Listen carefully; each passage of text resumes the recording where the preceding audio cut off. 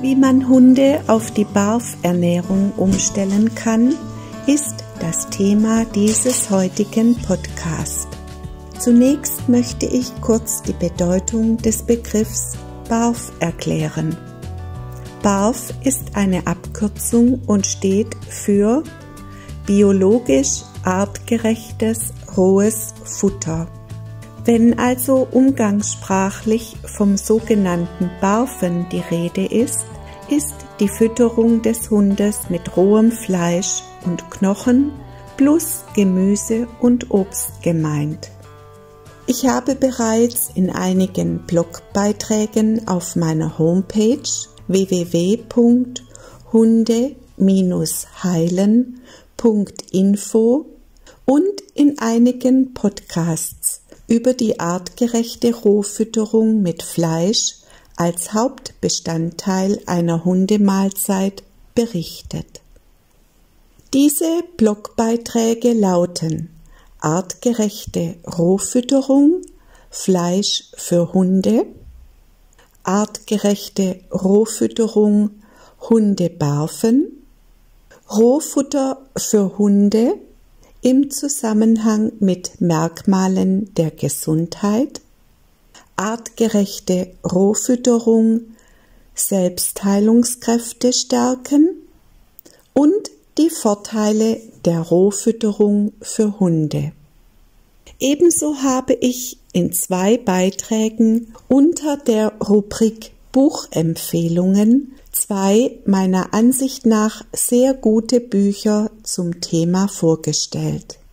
Einmal Natural Dog Food von Susanne Reinert und Barf von Swanny Simon. Doch zurück zum Thema. Wie kann ich meinen Hund auf die Rohfütterung mit Fleisch umstellen? Das erste Mal habe ich im Jahr 2004 von der Ernährung eines Hundes mit rohem Fleisch und anderen Zutaten erfahren. Damals war meine Hündin Pranka etwa acht Monate alt. Pranka war eine Labradorhündin, die ganz einfach und unkompliziert von Trocken- bzw. Fertigfutter auf die Rohfütterung umgestellt werden konnte. Von einem Tag auf den anderen Tag, natürlich mit dem notwendigen Abstand von zwölf Stunden, den man unbedingt einhalten muss. Ein Hund verdaut das rohe Futter in einem anderen Zeitrahmen als die Trockennahrung. Diese Verdauungszeiten passen nicht zusammen. Deshalb sollte man dem Hund also immer entweder Rohfutter oder Trockenfutter geben und niemals beide Futtersorten zusammen verfüttern. Die wichtigste Regel, die beim Barfen zu beachten ist, ist also Roh- und Fertigfutter grundsätzlich immer getrennt zu verfüttern. Wenn ein Hund bisher Trockenfutter bzw. Fertigfutter bekommen hat und man ihn auf Barf umstellen möchte, sollte also ein zeitlicher Abstand von mindestens zwölf Stunden eingehalten werden. Dies ist beispielsweise möglich, wenn eine ganze Nacht oder ein ganzer Tag dazwischen liegt.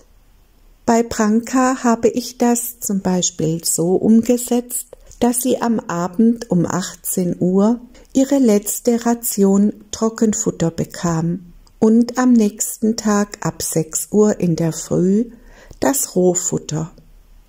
Sie hatte den Blättermagen vom Rind sofort angenommen und es sich schmecken lassen. Hunde sind jedoch sehr verschieden und wollen das Rohfutter vielleicht zunächst nicht annehmen. Dann gibt es einige Möglichkeiten, auf die ich an anderer Stelle noch näher eingehen werde. Ich hatte also Glück.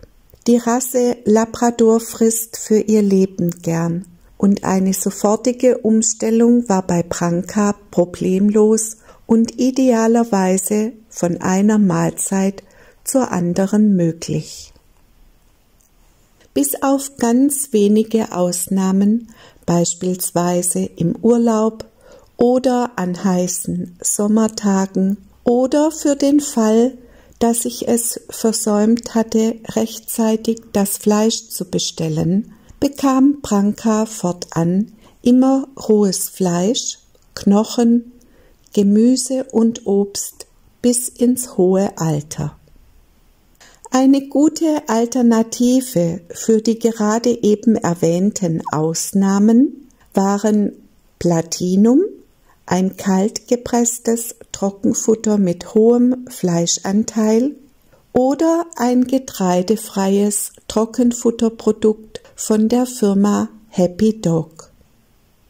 Unter Beachtung des Abstands von zwölf Stunden war das Umstellen bei Branka von einem Tag auf den anderen kein Problem.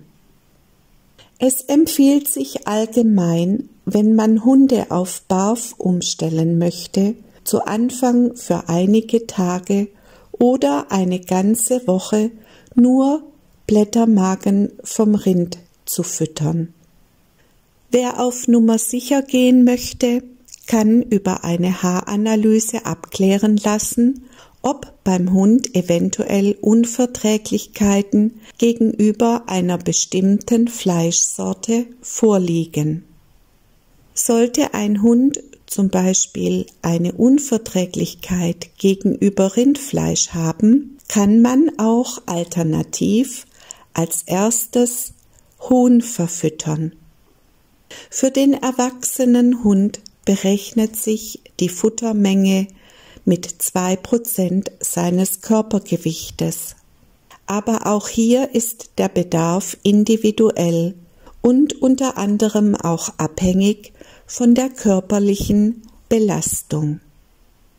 Branka war bei der Umstellung noch sehr jung. Sie war etwa acht bis neun Monate alt und sie bekam in der ersten Woche zum Einstieg in die Rohfütterung 500 Gramm Blättermagen pro Tag.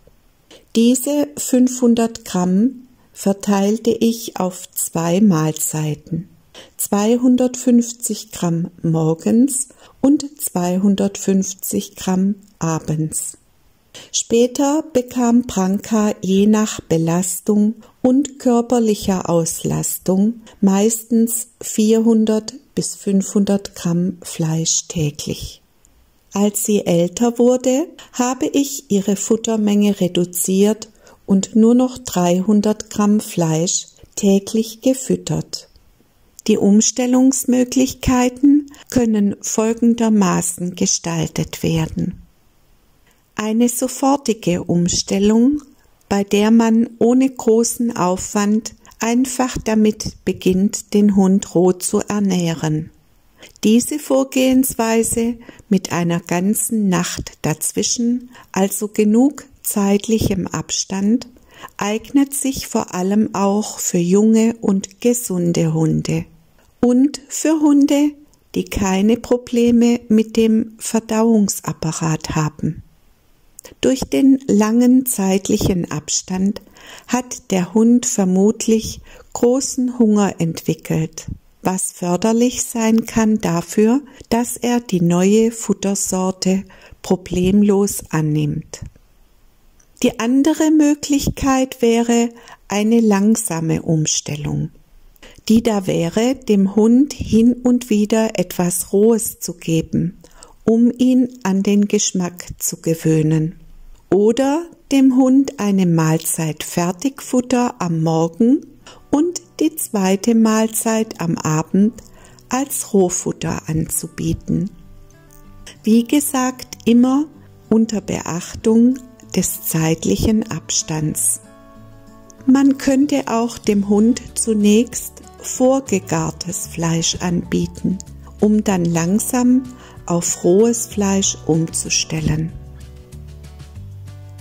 In dem zweiten Teil zu dem Thema, der in Kürze erscheinen wird, möchte ich nochmals auf diese etwas langsameren Umstellungsmöglichkeiten näher eingehen.